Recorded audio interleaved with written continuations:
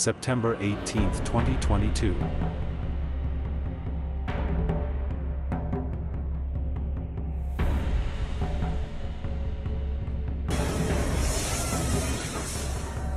A powerful earthquake that strikes southeast Taiwan causes bridges and buildings to fall or sustain significant damage.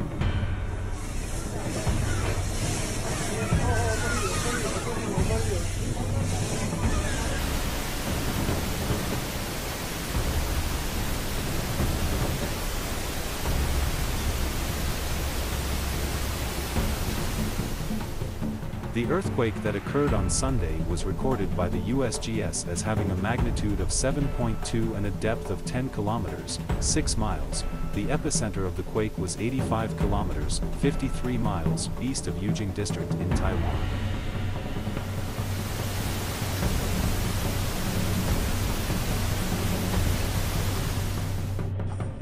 We know this will take trillions, not billions of dollars. We also know that countries, many of whom are burdened by growing levels of debt, simply cannot afford to go green. Here we need a vast military-style campaign to marshal the strength of the global private sector.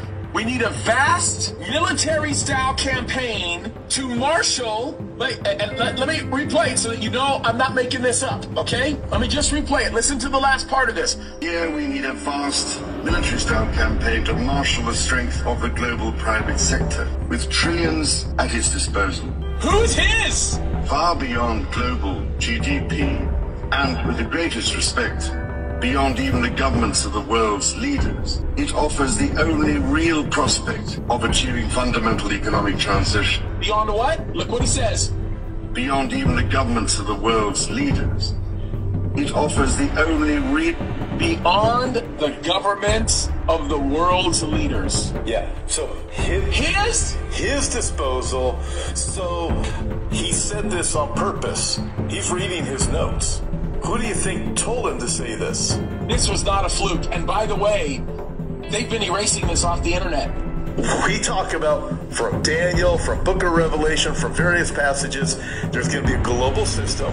It will rise out of Europe, and they will crown their leader, and it will be a he. It won't be a she, it'll be a he. And the book of Revelation calls him Antichrist or Beast. He's going to be the most powerful leader the world has ever known. The book of Revelation tells us, Revelation chapter 13, that nobody can make war with him. Who can stop him? Absolutely nobody. He obviously is talking about someone. He's talking about someone that's a man. He's talking about someone that nobody knows who he is yet. He's the most powerful man in the world. More powerful is he than all of the global leaders combined. Revelation 17, the 10 kings give their power and authority to the beast. If people can't see it now, James, you, uh, you have to be in denial.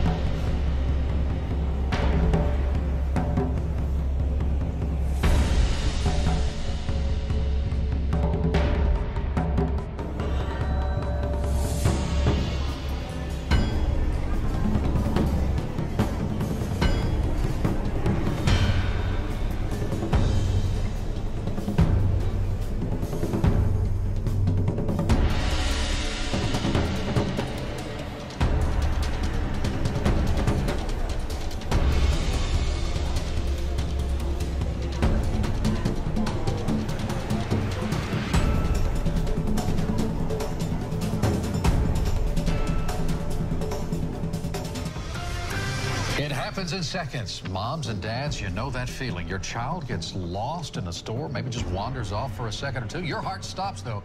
Panic sets in, and you think the worst.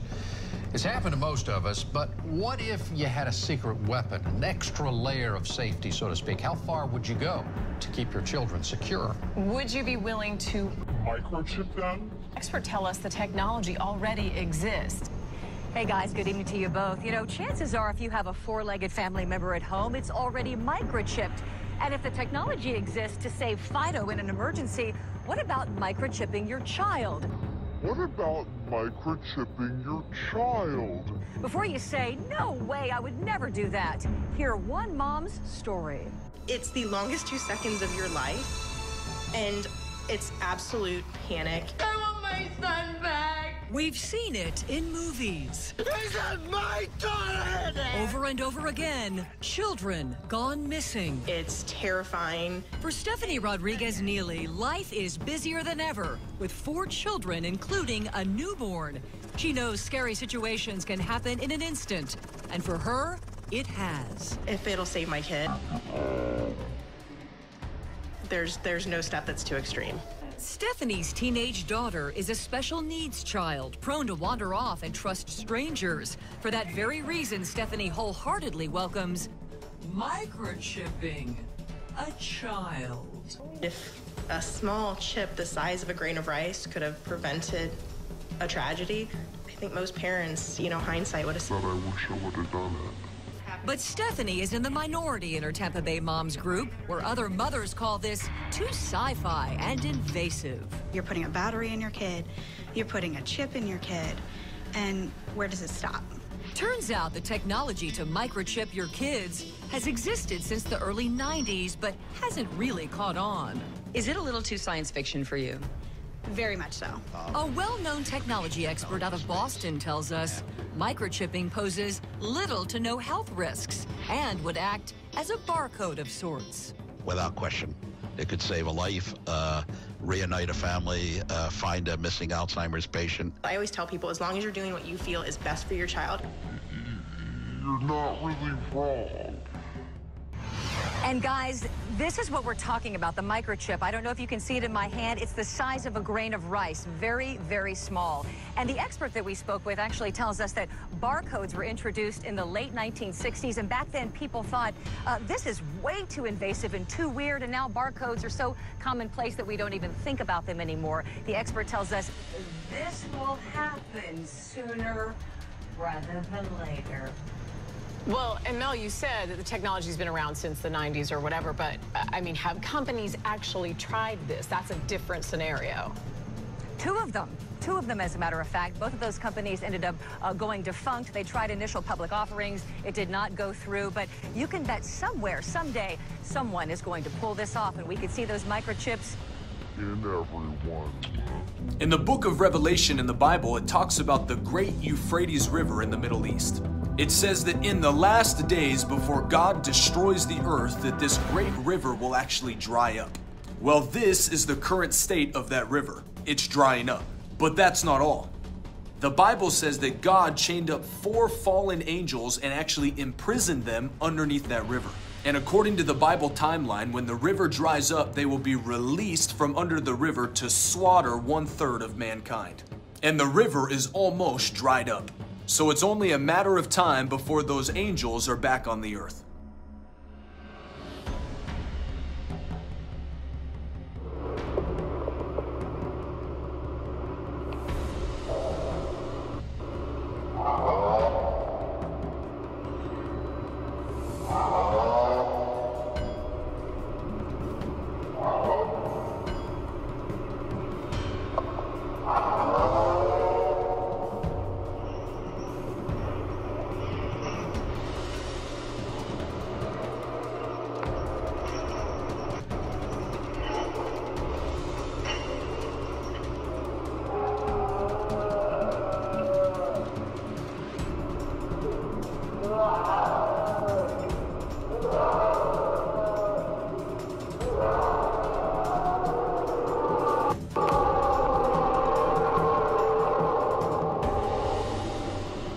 Greetings, brothers and sisters. God bless each and every one of you today. Hope everybody's doing well. Jesus is coming, and Jesus is coming one day, very, very, very soon. I mean, just today we had a there was a 7.6 magnitude earthquake that rocked central Mexico with uh, possible tsunami warnings alerted. A 6.9 earthquake in Taiwan just yesterday, uh, and then going down from there, 6.5 Taiwan, 7.0 Vanuatu, 7.6 Papua New Guinea, 6.0 Indonesia, 6.2 Indonesia, 6.2 Indonesia, 6.6 China, 6.2 Southern East Pacific Rise, 6.9 Central Mid-Atlantic Ridge, 6.1 Papua New Guinea. This is Dahboo 7 in Earthquake Update. You can see here that we have had a pretty significant earthquake striking in Mexico, right here on the border area. This is the same area that I warned about. We saw a little bit of odd swarming building up in this region, and this is what we were kind of anticipating happening. Decent quake, as you can see here, 7.5 to 7.6 hitting in this area. Tsunami warning was issued. There are reports of some buildings that have crumbled and went down, and people being rescued.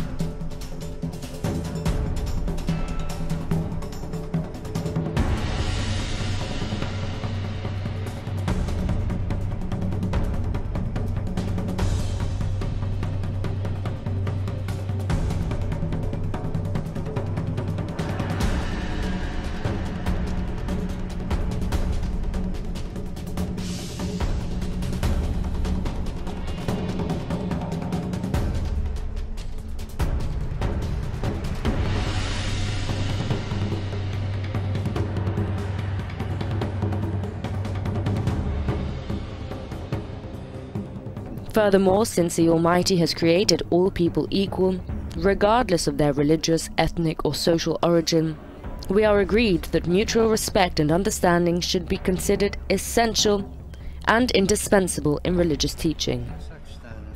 We defend everyone's right to religion, to hope, to beauty, to heaven.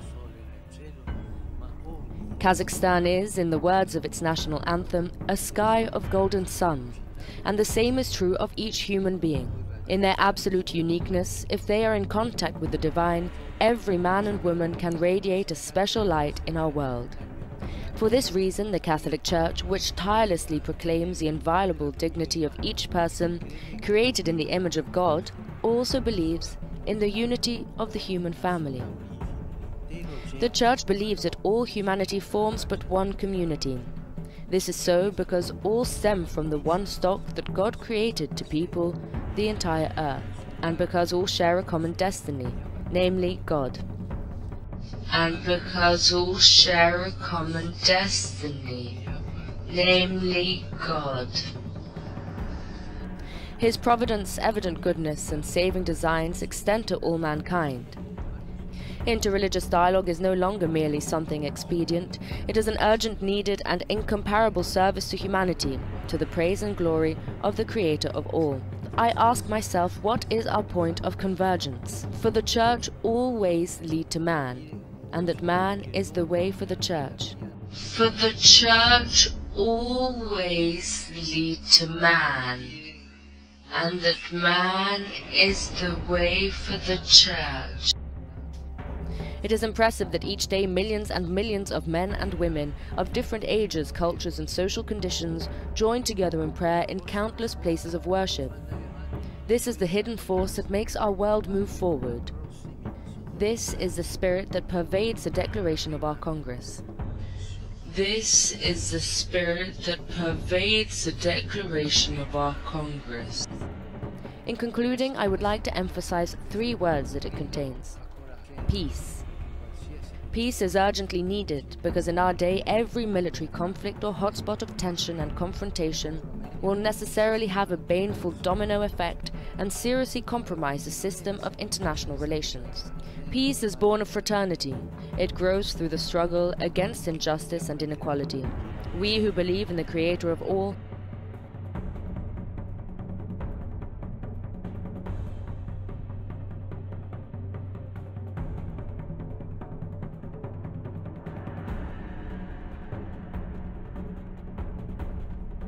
must be on the front lines in promoting the growth of peaceful coexistence.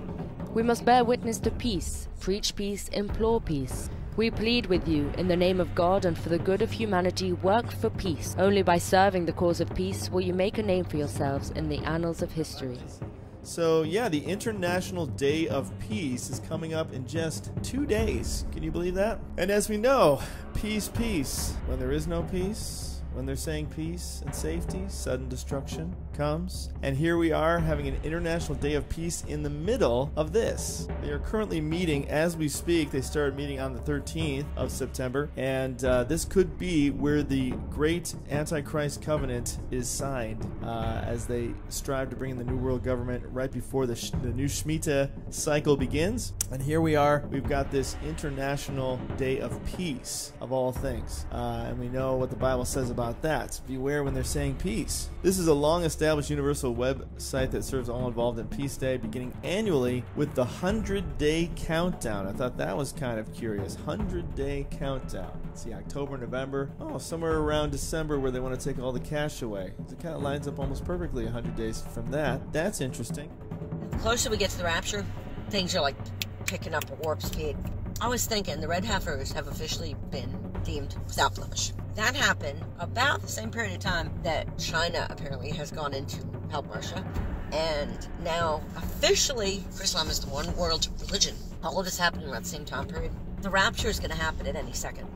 If you still have one foot in the world, one foot in heaven, you can't do that. What I mean by that is, is if like fornication, drugs, getting drunk, um, things like that, you know, things the Bible says not to do. We live for Christ. These world leaders, and if you're in this country, that includes Republican and Democrat alike. This is all satanic. This is about control and greed. Don't follow people like that. They're going to try to scare you into following them. Follow Jesus Christ, the one who is the only way to God the Father, the true Messiah. He loves you so much. He went through excruciating death on the cross. On the third day, he rose again. He's alive. He's seated at the right hand of the Father. And you know why his name was the only one left out at this Chrislam forum thing that they started? Because Satan knows he's the only way to salvation. Jesus Christ is the only way to salvation. The rapture's going to happen anytime now. We're just waiting to hear the trumpet. If you're left behind, you're going to have to endure seven years of hell. Don't be left behind.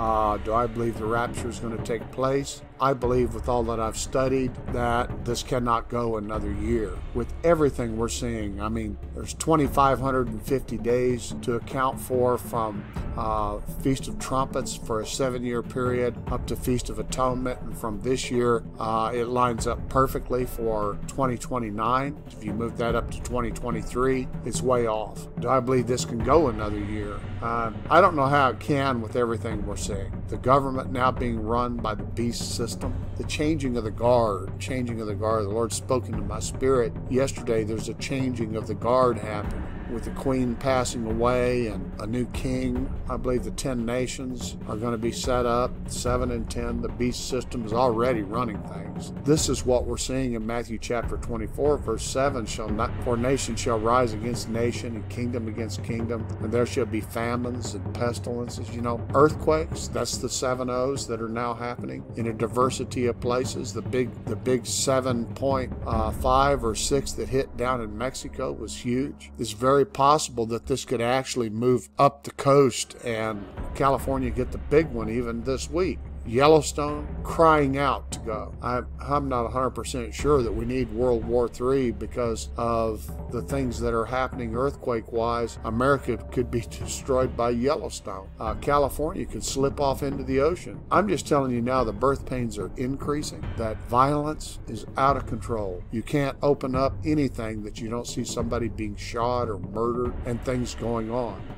This is Dahboo7. A heads up for what looks to be a big event coming around the corner. We've got some of the biggest CEOs of the biggest companies out there slashing all their inventory ahead of the busiest time of the year. This has people that watch charts scratching their head and saying, hold on a second, something's about to happen. We've talked about the recession, inflation, but we had one CEO, the one of FedEx, actually come out and say that he believes this is where it's all going downhill into a major recession. Maybe these others are just not willing to admit it, but their actions are speaking louder than words. Walmart, Target, and other retailers canceling billions of dollars. It just doesn't make any sense. The holiday season is typically the busiest time of the year. At this time in 2021, there was actually a great deal of concern that there wouldn't be enough inventory to go around due to the global supply chain problems. Everything's changed.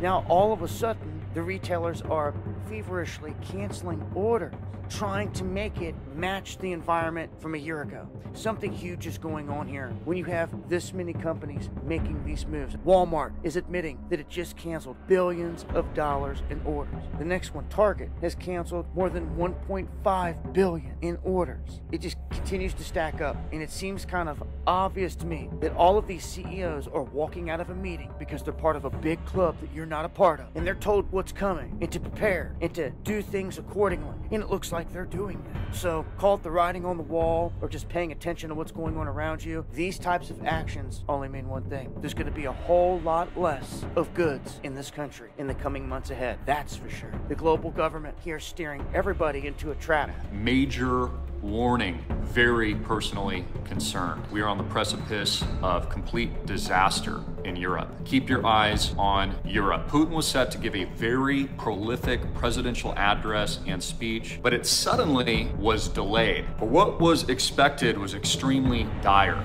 And the warning is Putin is potentially about to mobilize some 2 million plus troops into Ukraine and declare a full military war conflict in Ukraine itself. It appears that Putin may, in fact, exercise drastic measures in the days ahead. So there are multiple, I believe up to three new referendums that are about to be put to a vote in the coming days here in September. Remember, I said September is going to be a hot month. It is going to be, in my view, an explosive month. But I reported, of course, on the Pope and October 1st and how we see them moving assets, billions of dollars, into the Vatican, centralizing their wealth before what I can only guess is some kind of major economic financial meltdown. So here's what's happening. We are, in my opinion, about to enter a global conflict of epic proportions. So we are already at war. And keep in mind, Biden, as he went on camera on 60 Minutes just a few days ago, said that he would arm Taiwan with American troops, meaning men and women, U.S. troops in Taiwan, to defend it from an aggressor, China, in the imminent eventuality, I believe, of an invasion, which I think is going to happen very, very soon, because it's important to understand that this is not just a war with Ukraine, in Ukraine and Russia. This is very much a hot war with China. Eric Schmidt said this just a couple months ago. He says we're basically losing the AI, artificial intelligence war to China, which is how World War III, these are my words, is currently being fought. If and when, and I think it's a matter of time, Vladimir Putin is able to successfully pull off this annexation in various areas of Ukraine, those areas and geographical territories will become part of Mother Russia itself. That will mean that any attack on that soil will be considered an attack on Russia. It is clearly stated as a matter of fact and international law that Vladimir Putin and potentially his allies like China could use the full force of defense that includes nuclear and potentially hypersonic nuclear tipped weapons in the area. There is a new anti rapture movement taking place in mainstream Christianity. Very recently, a new movement has begun where mainstream Christians are being taught to shun belief in a soon rapture. Now, we need to understand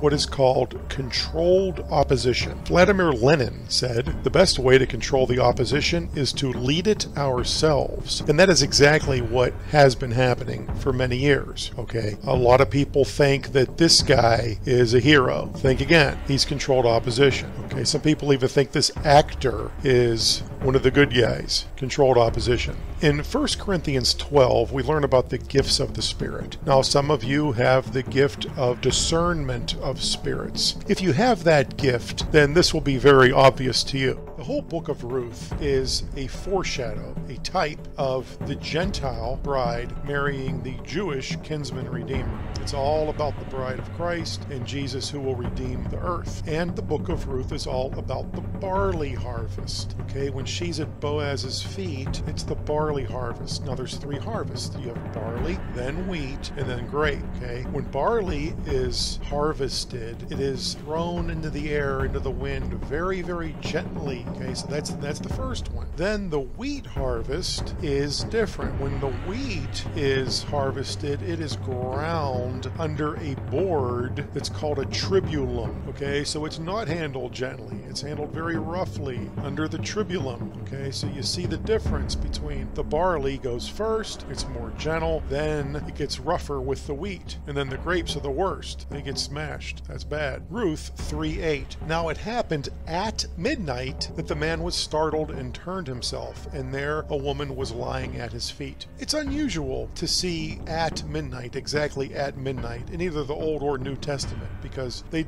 didn't really have means to keep accurate time, especially at night. It was more typical to refer to the different times of night based on the watches the first watch, second watch, third watch, fourth watch. So for this to be at midnight, exactly at midnight, there's probably a reason for that. There's probably a sign here of something significant at midnight. Why is it exactly at midnight? The parable of the ten virgins, Matthew 25. We'll start in verse 6. And at midnight, there it is again, the mysterious at midnight, a cry was heard Behold, the bridegroom is coming, go out to meet him. Then all those virgins arose and trimmed their lamps. And the foolish said to the wise, Give us some of your oil, for our lamps are going out. But the wise answered, saying, No, lest there not be enough for us and you, but rather go to those who sell and buy for yourselves. And while they went to buy, the bridegroom came, and those who were ready went in with him to the wedding, and the door was shut. Afterward the other virgins came also, saying, Lord, Lord, open to us. But he answered and said, Assuredly I say to you, I do not know you. Watch ye therefore, and pray always, that you may be accounted worthy to escape all these things that shall come to pass, and to stand before the Son of Man. Luke 21 36. Jesus said that we pray always and watch and pray that we are counted or accounted worthy to escape